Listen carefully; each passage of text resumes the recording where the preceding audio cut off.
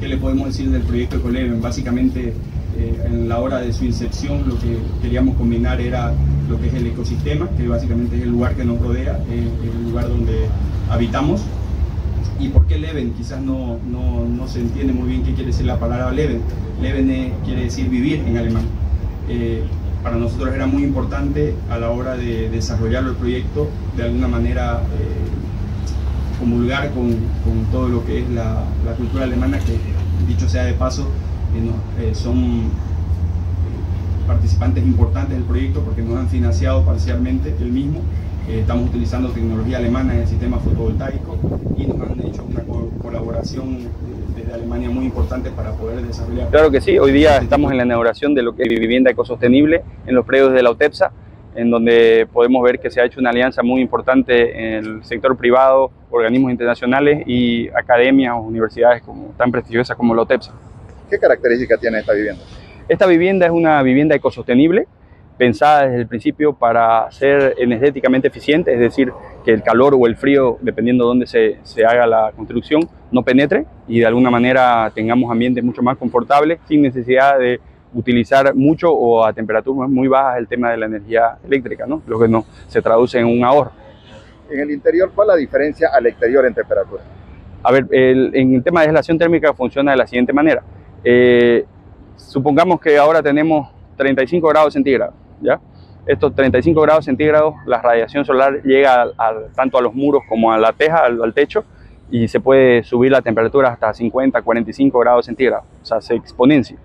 Y si fuera un material conductor de temperatura al interior, esa temperatura, esos 50 grados que tenemos en el exterior, se pueden traducir a una temperatura de 35, 30 eh, grados centígrados, lo que nos hace tener una temperatura muy alta para que, que, no es confortable para el ser humano. Entonces, básicamente, los materiales constructivos están fabricados con materiales que evitan esa transferencia de calor. Entonces, básicamente, la temperatura que usted tiene adentro, agradable ya sea con aire o sin aire, dependiendo del día, estamos hablando 25 grados, 20 grados, 23 grados, se mantiene y no se ve aumentada por esta transferencia de calor exterior. ¿Cuánto cuesta edificar esta obra?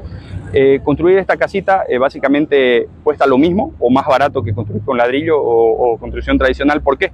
Eh, porque básicamente esta construcción se logra hacer en un tercio o inclusive menos tiempo que, que construir con, de manera tradicional, ¿no? entonces nos permite el ahorro en mano de obra. Así que, ¿Producto de cuánto tiempo de investigación? Bueno, este producto ya se utiliza en muchos años, eh, en muchos continentes, se podría estar hablando de más de 30 años atrás.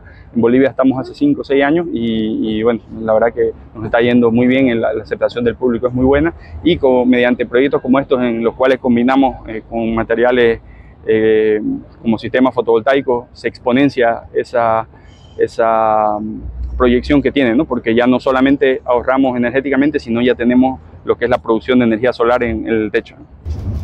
Este es un proyecto icónico realmente. Eh, yo quiero aprovechar en primer lugar para felicitar a, a Isol Cruz, a Ecoleven y a Construpanel. He visto un esfuerzo increíble en, en, todos sus participantes, los ambos arquitectos que ya vamos durante tantos años trabajando en ello. Alejandro, con, bueno, eh, uno, uno, uno, ve en persona los esfuerzos que se han hecho y esto no vino de la nada, eh, viene con, con, con, un ímpetu, con, con una voluntad muy grande eh, estamos hablando de una cooperación internacional, han participado instituciones desde Alemania, eh, aquí en Bolivia asimismo también somos varios impulsores. La verdad que nosotros como universidad estamos doblemente satisfechos. En primer lugar, eh, la Universidad UTEPSA, miembro del Pacto Global y muy alineada con los Objetivos de Desarrollo Sostenible, lograr un proyecto real como este significa mucho para nosotros, justamente porque la misión de la universidad, además de formar, es vincularse con nuestra comunidad e investigar. Y justamente con este proyecto hemos logrado eso. Ese objetivo de desarrollo último, sostenible 17, que es vincularnos, justamente firmamos un convenio interinstitucional con Brookings Consult y con Isol Cruz para armar este proyecto, para impulsar y divulgar un método constructivo para la vivienda